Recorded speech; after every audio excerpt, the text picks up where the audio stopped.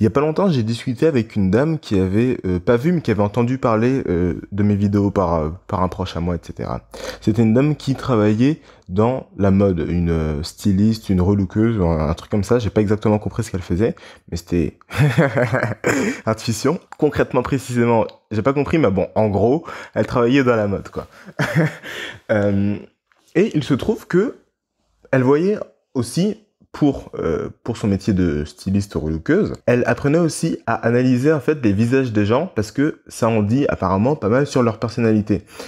Donc du coup, elle me parlait de ça en fait, parce que comme elle avait compris aussi que en gros, je parlais des personnalités euh, des gens, on s'est mis à parler de ça, etc. Et elle m'expliquait que elle voyait par exemple qu'il y a des gens qui ont un visage euh, un peu carré, qui vont avoir un menton, le bout du menton sera à peu près au même niveau que la mâchoire, etc.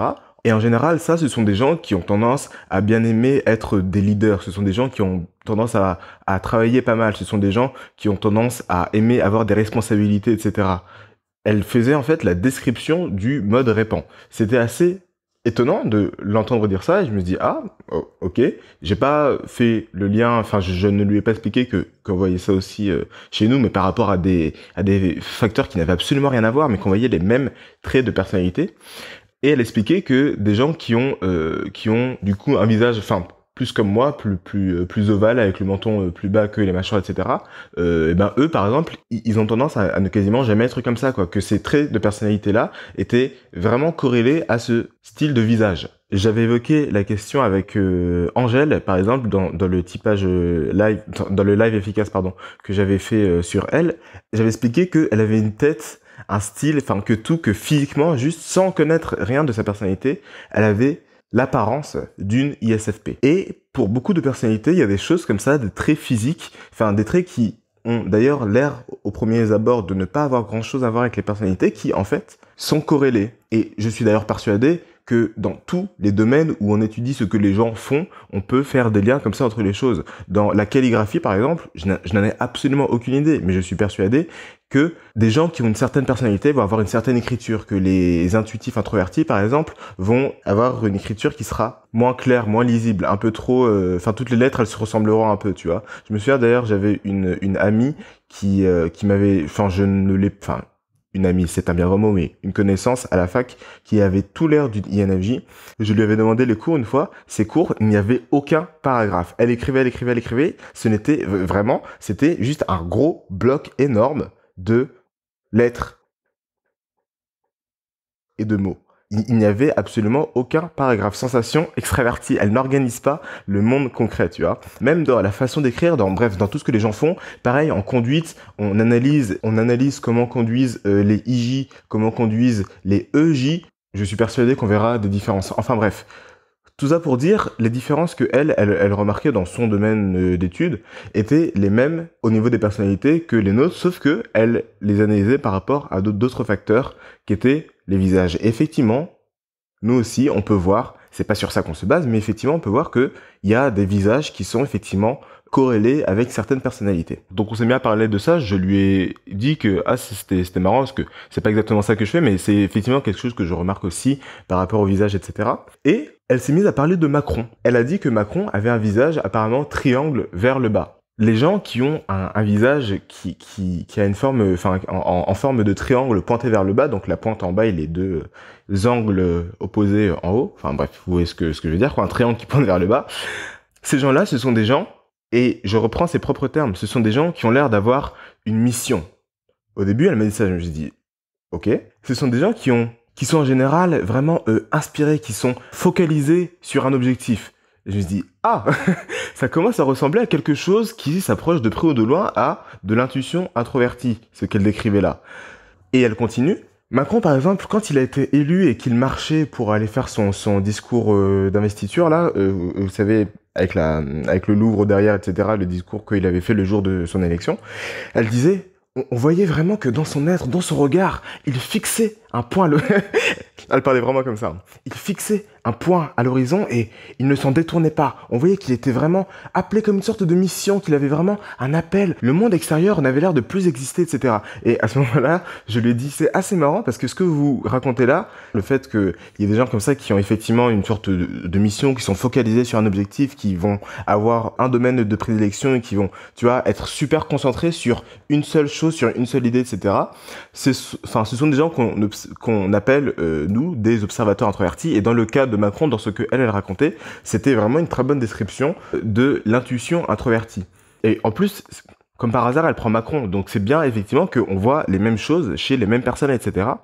Que les intuitifs introvertis, c'est vrai que quand ils sont concentrés, quand ils sont euh, dans leur intuition introvertie, c'est le monde extérieur qui n'existe plus. Ils vont être concentrés, mais dans leur tête et de du coup effectivement avoir l'air comme ça de marcher de ne même plus voir le monde extérieur tu vois de fixer un point à l'horizon c'est c'est assez marrant hein, de fixer un point à l'horizon etc les, les, les sensations introverties euh, dominants ou même inférieures quand ils vont être concentrés ils vont pas regarder un point à l'horizon les sensations introverties quand ils sont concentrés, ils vont justement être en mode sensation. Ils vont être concentrés sur le monde réel. Ils vont être concentrés à, tu vois, marcher correctement, à faire exactement, concrètement ce qu'il faut, tu vois. Mais bref, en gros, ce qu'elle décrivait euh, chez Macron, c'était exactement ce qu'on voyait, nous, avec le efficace, et que nous, on appelait juste de l'intuition introvertie, alors que elle, elle n'avait pas donné de nom, mais elle disait que voilà, les gens qui ont effectivement un visage euh, en triangle vers le bas ont ce type-là d'attitude, de personnalité. Et non seulement, en plus, elle décrivait l'intuition introvertie, mais même elle décrivait un peu le côté NF qu'ont souvent les NI plus F que ce soit FI ou FE, mais quand elle parlait de Macron, le fait qu'il ait l'impression d'avoir une mission, d'être appelé par quelque chose, etc., tu vois, ça c'est de l'intuition. Je pense que ça c'est assez clair que euh, c'est pas quelque chose de super concret, etc. Et c'est N et F, c'est pas NT qui va essayer de comprendre quelque chose, c'est, tu vois, le côté un peu religieux des NF, le côté un peu euh, gourou, chef de secte, cliché des INFJ qui vont effectivement avoir des, des visions, n'est-ce pas? J'ai trouvé la réponse. je me suis reclus dans la montagne pour organiser encore plus mes pensées, pour surutiliser mon intuition introvertie et j'ai fini par trouver les réponses, tu vois.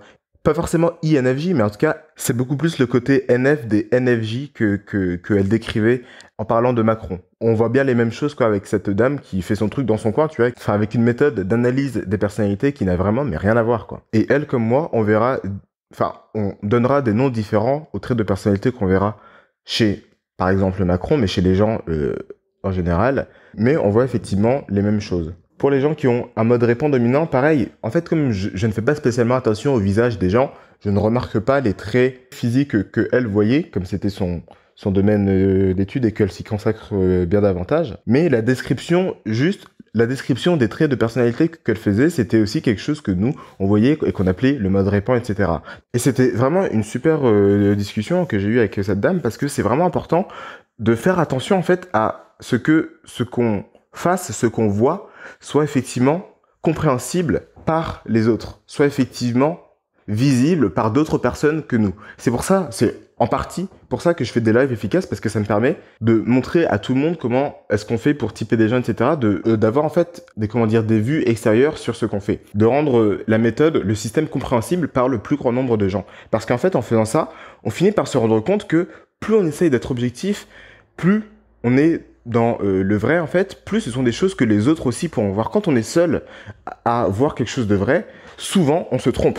Et c'est un malheur absolu pour les penseurs introvertis, c'est un malheur absolu pour les euh, intuitifs introvertis, c'est un malheur absolu pour en général tous les observateurs euh, introvertis et décideurs introvertis, pour toutes les fonctions introverties. Mais en fait, quand on est seul à voir quelque chose, c'est que souvent, cette chose-là est en fait fausse. Cette chose-là, en fait, n'existe pas. Et je ne dis pas que c'est toujours le cas. Il y a bien évidemment des génies incompris qui ont, qui ont, qui ont raison, des, euh, des visionnaires qui vont, qui vont faire les choses alors que tout le monde les prend pour des fous. Mais en général, les gens qu'on prend pour des fous, ce sont effectivement des gens qui sont fous. Les gens qui sont en fait pas fous et qu'on prend pour des fous, ce sont une minorité absolument euh, incroyable. Et donc pour euh, éviter ça, il faut en fait confronter tout ce qu'on fait au monde extérieur, aux avis extérieurs. Et quand on voit des corrélations comme ça, des liens entre ce qu'on voit nous ici et des gens qui vont faire quelque chose qui n'a a priori absolument rien à voir sur la physionomie euh, des visages, sur sur le relooking, tu vois, on se dit ah c'est marrant parce que même dans ces domaines-là qui sont apparemment totalement non corrélés, qui sont apparemment totalement différents, on retrouve les mêmes choses, on retrouve les mêmes traits de personnalité, mais c'est juste qu'on les appellera différemment. C'est juste qu'on les reconnaîtra différemment, qu'on les repérera avec différents moyens, mais on voit effectivement les mêmes choses. Et par exemple, par rapport au visage des gens, pour les INFJ, ce n'est pas quelque chose que j'ai pu euh, effectivement comment dire, remarquer que les INFJ avaient des visages euh, en triangle pointé vers le bas. Macron a effectivement un visage en triangle pointé vers le bas, je vois ce qu'elle veut dire, euh, mais chez les autres INFJ que j'ai, je ne remarque pas ça spécialement. En tout cas, ce que j'ai pu remarquer pour les INFJ, c'est les visages que vous pouvez voir en miniature, avec leur petite barbichette et leur air, comment dire, surnois. Donc bref, tout ça pour dire que j'ai eu une conversation intéressante avec une dame, et que, je sais pas... j'ai dû faire un break un peu sur, sur, sur la chaîne YouTube et quand je reviens c'est pour faire un podcast même moi je suis pas vraiment sûr de, de l'idée. Bah, bah, voilà euh, les intuitifs introvertis si vous pouvez trouver un nom euh, à ce podcast je vous, je vous en serai gré n'est-ce pas? C'est quoi l'idée principale de, de tout ce que j'ai dit dans cette vidéo? C'est quoi la plus importante? Ça me ferait plaisir parce que là je ne sais pas quoi dire comme conclusion. Si c'est mon premier podcast que tu écoutes je le considère comme une avant-première si c'est le deuxième, je veux encore être magnanime. Mais à partir du troisième, tu as le devoir de t'abonner, de liker, et si tu fais partie de ceux qui souhaitent réellement comprendre les personnalités en profondeur, le lien pour nous rejoindre dans l'espace membre est dans la description. Prends soin de toi, à bientôt.